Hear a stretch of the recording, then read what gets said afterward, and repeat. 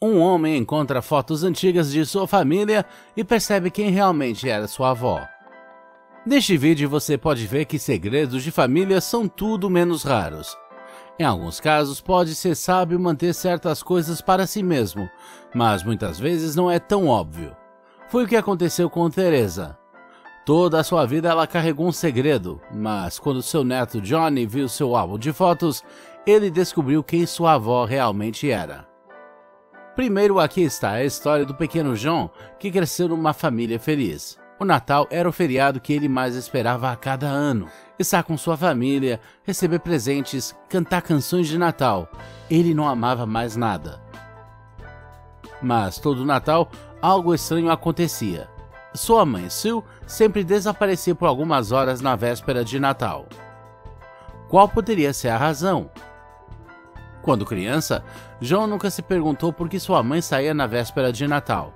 Mas à medida que envelhecia, queria saber o que estava por trás desse estranho desaparecimento. Ele decidiu pedir uma explicação à mãe, mas ela respondeu vagamente. Depois de alguns anos, João decidiu parar de questionar sua mãe. Ele a amava muito e não podia imaginar que ela fizesse qualquer coisa que prejudicasse a família. Os anos passaram e John tornou-se professor e escritor. Sue estava muito orgulhosa do filho. Por conta de seu trabalho, John viajou por todo o mundo e ele adorava. Mas todo Natal ele voltava para casa para ficar com a família. E todo ano, sua mãe desaparecia sem motivo. O que ela estava escondendo? Infelizmente, ele não conseguiu descobrir, porque sua mãe morreu. John estava muito triste Havia tantas coisas que ele queria perguntar e dizer à mãe. Era tarde demais, pois sua mãe tinha ido embora. João ficou cada vez mais infeliz e em algum momento ele não queria sair de casa. Um dia, João recebeu uma carta em casa. Ele não queria ler a carta, mas o pai o forçou a ler. Então ele abriu o um envelope e leu a carta que tinha sido entregue. A carta veio de um Robert, um homem que ele não conhecia mas o que estava escrito na carta fez John chorar. Robert agradeceu a ele e sua mãe por tudo que significavam para ele e sua família. Sue tinha vindo na véspera de Natal, vestida de Mãe Natal como em anos anteriores. Ela então ofereceu presentes e garantiu que Robert e sua família pudessem ter um Natal que nunca poderiam ter oferecido de outra forma. John teve dificuldades em acreditar nisso. Todo ano, ele queria saber por que sua mãe estava fora na véspera de Natal. Ele sabia que sua mãe tinha um grande coração, mas ele não achava que ela estava oferecendo um belo Natal para outra família. Isso confortou John, que mãe especial e boa que ele tinha. E agora que o véu foi levantado, os segredos foram revelados e ele finalmente podia dormir em paz e tranquilo. Nia e Robert Nia e Robert eram um casal simpático, não muito diferente da maioria dos casais. Um dia, eles decidiram ter um filho. Logo depois, Nia engravidou de seu primeiro filho. Após o nascimento do primeiro filho, ambos os pais souberam imediatamente que queriam expandir ainda mais a família. No entanto, o casal não esperava ter não um, mas dois bebês adicionais. Nia estava grávida de gêmeos. O casal ficou muito surpreso eles não sabiam que o gênio estava correndo na família. De qualquer forma, Robert e Nia ficaram muito felizes com a chegada dos dois bebês. Três crianças certamente iriam expandir a família. Mas depois de alguns anos, Nia queria outro filho. Mas no início ela teve que convencer Robert, que achava que criar três filhos era muito trabalhoso. Eventualmente, o casal decidiu começar e ela engravidou novamente. Dessa vez, Nia foi ao hospital sozinha para o ultrassom, para que seu marido Robert pudesse cuidar das crianças em casa. Mas o que os médicos lhe disseram, ela não esperava. Nia não estava grávida de um único filho ou gêmeos. Não, ela estava grávida de trigêmeos. Nia não sabia como reagir à notícia. Ela estava em choque. E ela decidiu não compartilhar a notícia com Robert. Ela tinha muito medo de sua reação. Mas claro, Nia não podia manter esse segredo para sempre. Então, ela decidiu contar-lhe a notícia na forma de um presente. Quando um dia Roberts encontrou um pacote bem embrulhado, Ele não sabia o que poderia ser.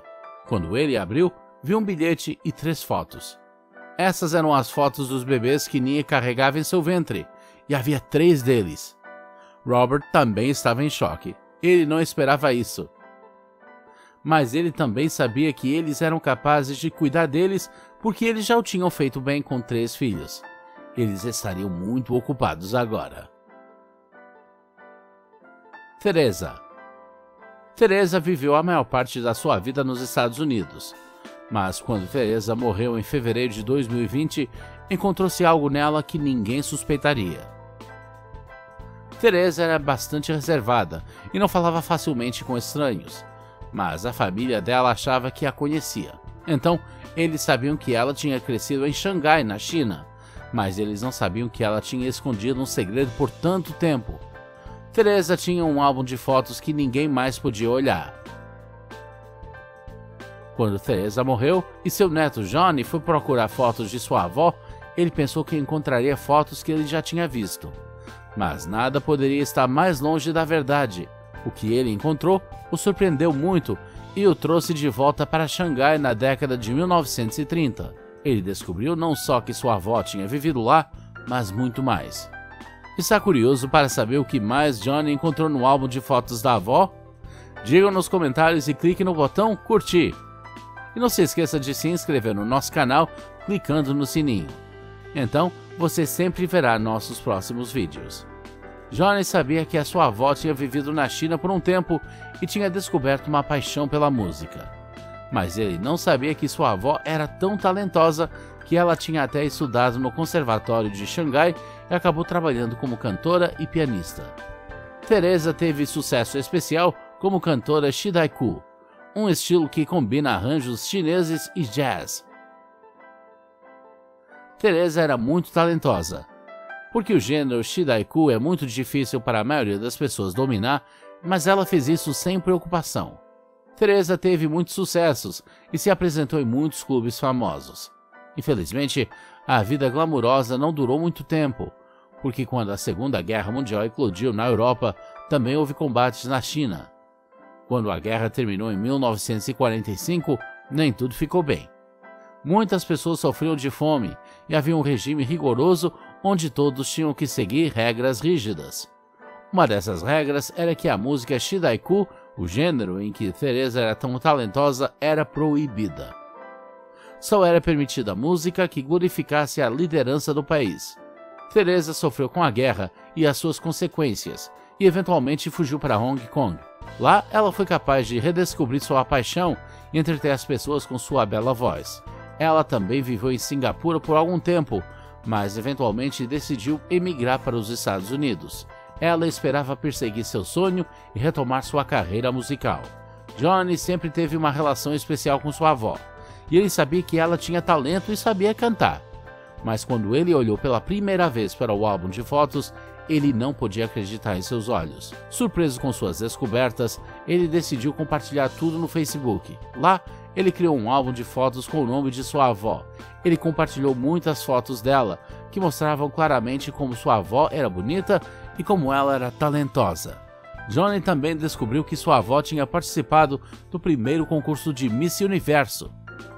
Isso não o surpreendeu. Sua avó era muito bonita.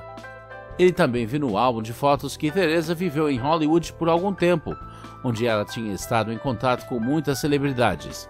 E para a surpresa de Johnny, sua avó também estrelou em vários filmes de sucesso. O que a avó dele não pôde fazer? Ela era modelo, cantora, animadora e atriz, uma verdadeira artista. Mas Teresa não apenas valorizava o sucesso, ela queria começar uma família. E foi isso que aconteceu. Ela se casou e teve filhos, mas para tomar a vida de sua família o mais agradável possível, ela sentiu que era necessário se mudar para os Estados Unidos. Ela fez de tudo para seguir sua carreira musical e aprender a língua inglesa o melhor que pôde. Seus filhos tiveram uma vida agradável lá e se tornaram adultos realizados. Eles também tiveram filhos e Teresa estava feliz por ser avó. Johnny ficou feliz em finalmente saber como era a vida de sua avó. Ele agora admira ainda mais e também está satisfeito que sua avó escolheu se estabelecer nos Estados Unidos. Ele está muito feliz lá e não quer ir embora.